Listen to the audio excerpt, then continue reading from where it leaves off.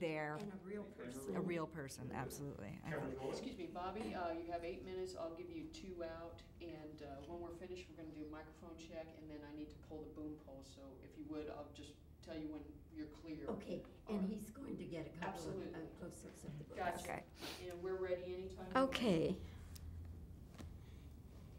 Julie, I'm going to say welcome home because you are a native Texan. I am, thank you. It's good to be back. Uh, born in Austin? Austin, Texas, born and raised. Yes.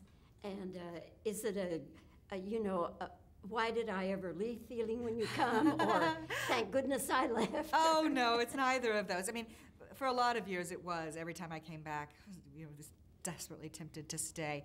Uh, now things, you know, I've been in New York 14 years now, and uh, now things are going a little better for me than they used to, and, and I love New York, and I don't know that I'll leave anytime soon, but I love coming back every time. For, for one thing, I just eat myself silly every time I come home.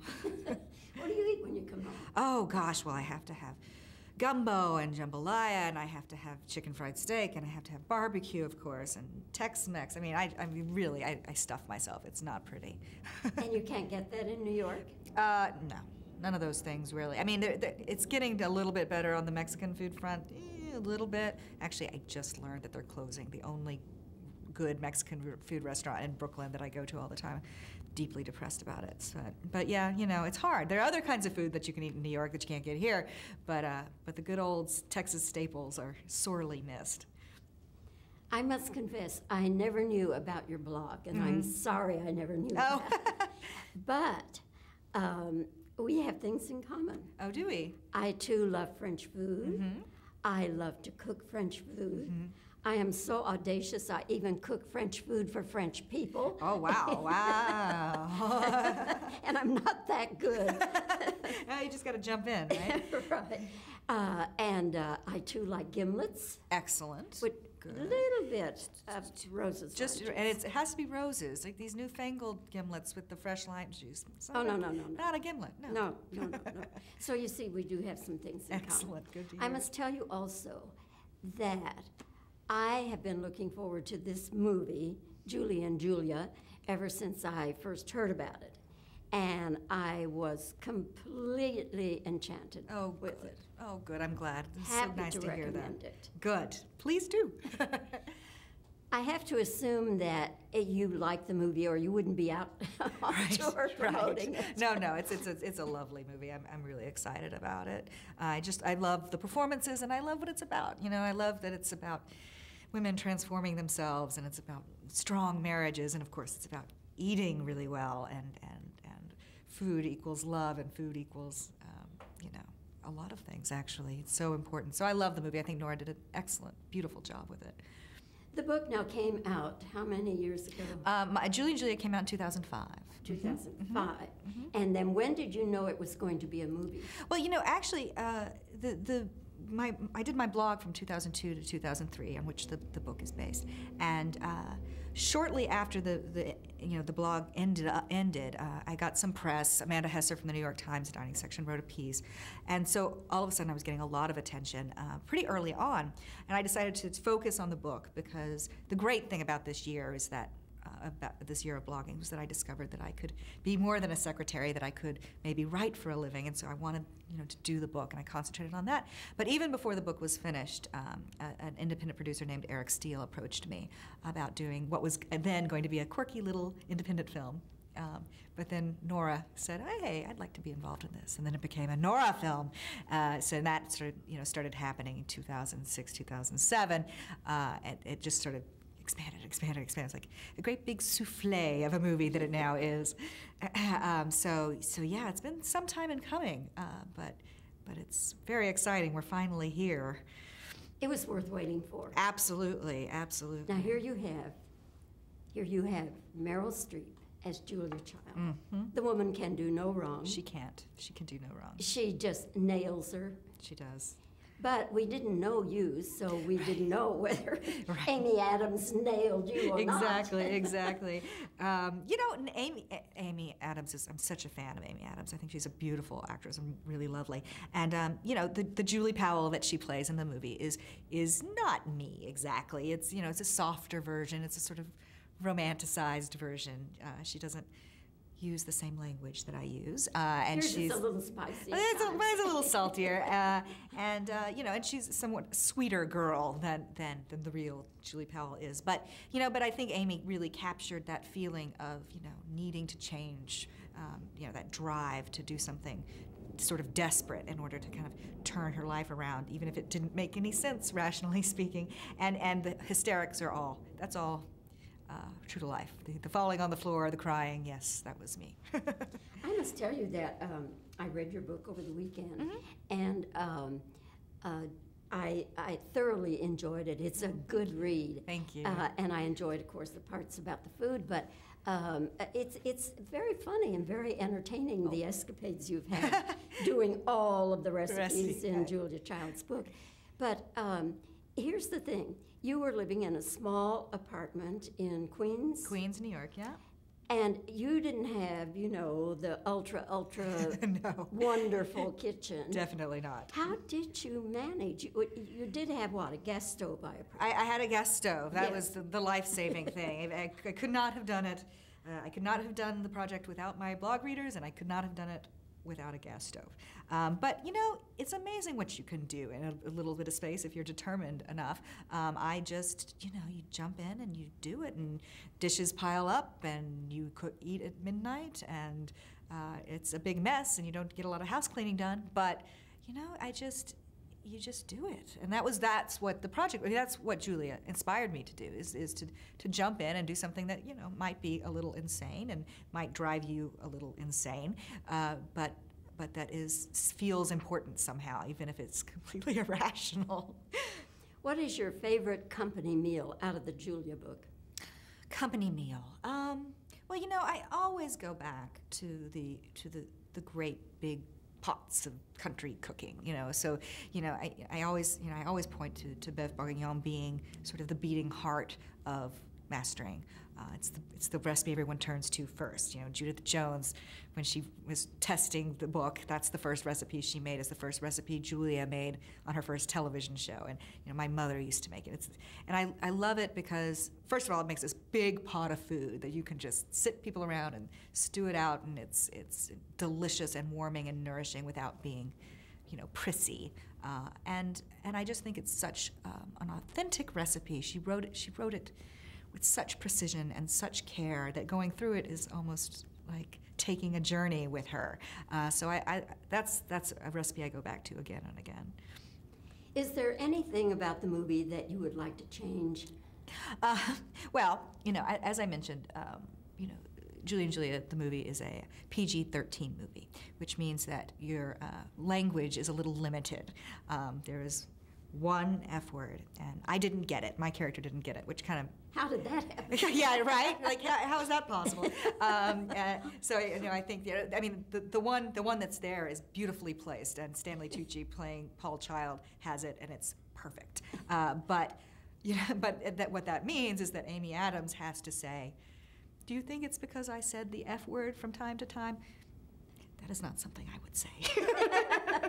and if, I could change anything, if I could change the you know in MPAA ratings and, and let us get in another one or two of those, that'd be great. But uh, otherwise, I just I'm so pleased with the movie. I think it's lovely. Julie, I think that people are going to enjoy it, and I do hope that men won't think it's a chick flick. Well, you know, and I think you know, I've, I've had a lot of feedback from, from men who said, "Oh, I was dragged here by my wife or my girlfriend, and I was really expecting to just fall asleep, and uh, and, and came away, you know, really really loving it, and, and hungry and, and, and excited, and um, you know, I, I mean, it is a chick flick, but it's a chick flick that ha- speaks to to women's real problems, not." Oh gosh, you know, I love my boss and I need, you know, to, jump in bed with him. But, you know, women who need to find themselves rather than attach themselves to a man. And and one of the things that's great about the movie that I think men can relate to is that that that uh, especially married men, uh, is that marriage is this institution that, that moves you know not an institution it's it's a partnership and it moves and it changes and it's strong men and strong women kind of moving forward together um, and then you know and eating eating a lot Yes, I'm for that. absolutely Julie, thank you so much for coming. Enjoyed meeting you and talking with you, and happy to recommend the film and the book. good good i'm glad you enjoyed them both All right, ladies, stand by.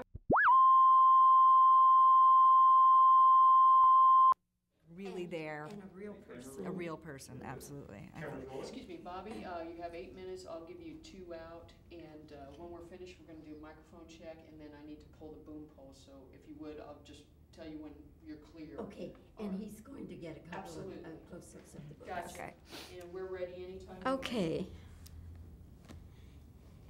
Julie, I'm going to say welcome home because you are a native Texan. I am, thank you. It's good to be back.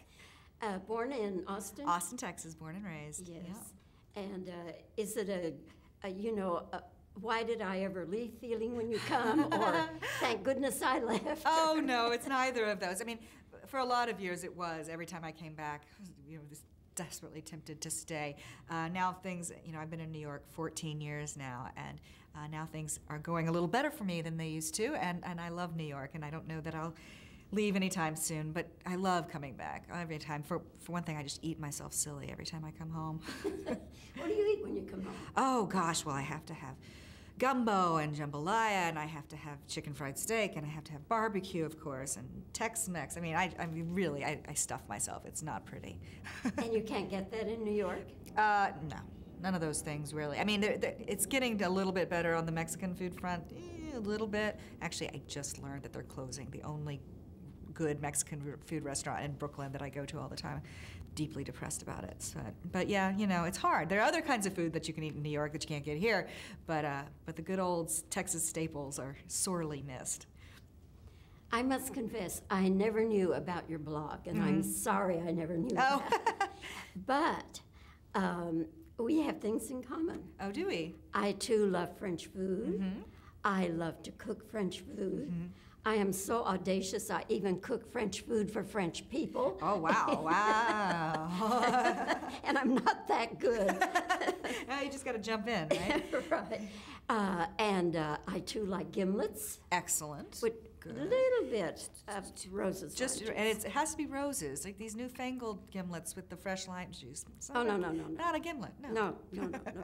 So you see, we do have some things in common. Excellent. Good to I must tell you also that I have been looking forward to this movie, Julie and Julia, ever since I first heard about it. And I was completely enchanted Oh, with good. it. Oh, good. I'm glad. It's Happy so nice to to, hear that. it. Good. Please do. I have to assume that you like the movie or you wouldn't be out on tour promoting right. it. No, no, it's, it's, it's, it's a lovely movie. I'm, I'm really excited about it. I just, I love the performances and I love what it's about. You know, I love that it's about women transforming themselves and it's about strong marriages and of course it's about eating really well and, and, and food equals love and food equals, um, you know, a lot of things actually. It's so important. So I love the movie. I think Nora did an excellent, beautiful job with it. The book now came out how many years ago? Um, Julie and Julia came out in 2005. 2005.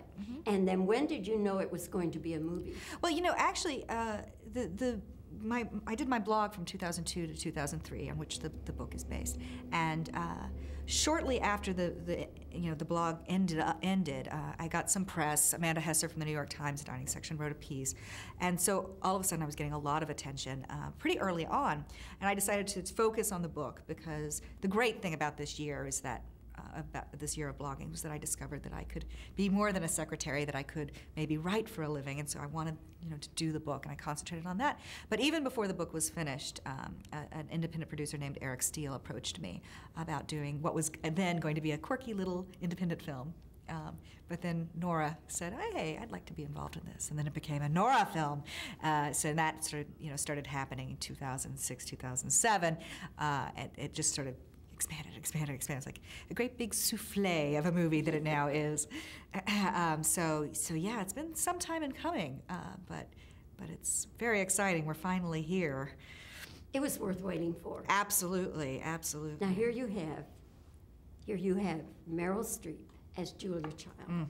The woman can do no wrong. She can't. She can do no wrong. She just nails her. She does. But we didn't know you, so we didn't know whether Right. Amy Adams nailed you or not. exactly, exactly. Um, you know, Amy, Amy Adams is. I'm such a fan of Amy Adams. I think she's a beautiful actress and really lovely. And um, you know, the the Julie Powell that she plays in the movie is is not me exactly. It's you know, it's a softer version. It's a sort of romanticized version. Uh, she doesn't use the same language that I use, uh, and Yours she's a little spicy. it's a, it's a little saltier, uh, and uh, you know, and she's a somewhat sweeter girl than, than than the real Julie Powell is. But you know, but I think Amy really captured that feeling of you know needing to change, um, you know, that drive to do something sort of desperate in order to kind of turn her life around, even if it didn't make any sense rationally speaking. And and the hysterics are all that's all. Uh, true to life. The, the falling on the floor, the crying, yes, that was me. I must tell you that um, I read your book over the weekend, Mm-hmm. and um, uh, I, I thoroughly enjoyed it. It's a good read. Thank you. Uh, and I enjoyed, of course, the parts about the food, but um, it's it's very funny and very entertaining the escapades you've had doing all of the recipes in. Julia Child's book. But um, here's the thing: you were living in a small apartment in Queens. Queens, New York, yeah? And you didn't have, you know, the ultra, ultra no, wonderful kitchen. definitely not. How did you manage? You, you did have what, a gas stove, I appreciate. I, I had a gas stove. That was the, the life-saving thing. I, I could not have done it. Uh, I could not have done the project without my blog readers, and I could not have done it without a gas stove. Um, but you know, it's amazing what you can do in a, a little bit of space if you're determined enough. Um, I just, you know, you jump in and you do it, and dishes pile up, and you cook, eat at midnight, and uh, it's a big mess, and you don't get a lot of house cleaning done. But you know, I just you just do it. And that was that's what the project that's what julia inspired me to do is, is to, to jump in and do something that you know might be a little insane and might drive you a little insane uh, but but that is feels important somehow even if it's completely irrational. What is your favorite company meal out of the Julia book? company meal. Um, well you know i always go back to the to the, the great big pots of country cooking you know? So you know i, I always you know i always point to, to boeuf bourguignon being sort of the beating heart of mastering. Uh, it's the it's the recipe everyone turns to first. You know judith jones when she was testing the book that's the first recipe she made. Is the first recipe julia made on her first television show. And you know my mother used to make it. It's, and I, I love it because first of all it makes this big pot of food that you can just sit people around and stew it out and it's it's delicious and warming and nourishing without being you know prissy. Uh, and and I just think it's such um, an authentic recipe. She wrote it she wrote it with such precision and such care that going through it is almost like taking a journey with her. Uh, so I, I, that's that's a recipe I go back to again and again. Is there anything about the movie that you would like to change?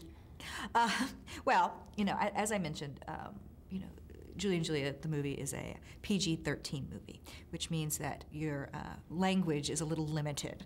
Um, there is one F word, and I didn't get it. My character didn't get it, which kind of How did that happen? yeah, right. Like, how, how is that possible? Um, uh, so, you know, I think, you know, I mean, the, the one the one that's there is beautifully placed, and Stanley Tucci playing Paul Child has it, and it's perfect. Uh, but, you know, but that what that means is that Amy Adams has to say, "Do you think it's because I said the F word from time to time?" That is not something I would say. if, I could change anything, if I could change the, you know, in, MPAA ratings and, and let us get in another one or two of those, that'd be great. But uh, otherwise, I just, I'm so pleased with the movie. I think it's lovely. Julie, I think that people are going to enjoy it, and I do hope that men won't think it's a chick flick. Well, you know, and I think you know, I've, I've had a lot of feedback from, from men who said, "Oh, I was dragged here by my wife or my girlfriend, and I was really expecting to just fall asleep, and uh, and, and came away, you know, really really loving it, and, and hungry and, and, and excited, and um, you know, I, I mean, it is a chick flick, but it's a chick flick that speaks to to women's real problems, not." Oh gosh, you know, I love my boss and I need, you know, to, jump in bed with him. But you know, women who need to find themselves rather than attach themselves to a man. And and one of the things that's great about the movie that I think men can relate to is that that that uh, especially married men, uh, is that marriage is this institution that, that moves you know not an institution it's it's a partnership and it moves and it changes and it's strong men and strong women kind of moving forward together um, and then you know and eating eating a lot Yes, I'm for that. absolutely Julie, thank you so much for coming. Enjoyed meeting you and talking with you, and happy to recommend the film and the book. good good i'm glad you enjoyed them both All right, ladies, stand by, we're gonna do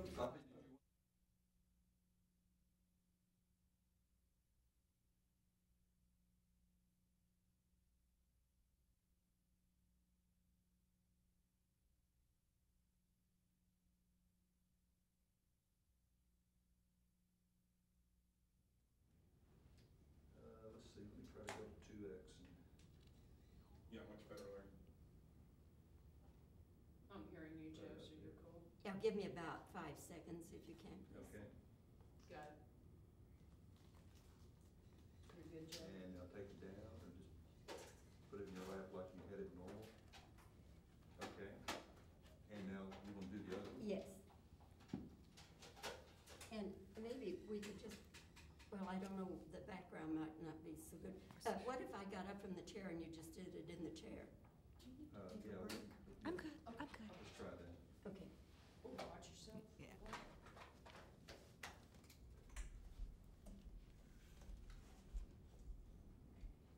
I want to show that it's kind of thick too. Yep, that looks good there. Right there. Yep. Okay. You're okay, Bobbie, you can stand Down. up. I wouldn't say, sorry. I'm not used to things like this. You know, in television studios, it's. It's way up high. Okay, Okay,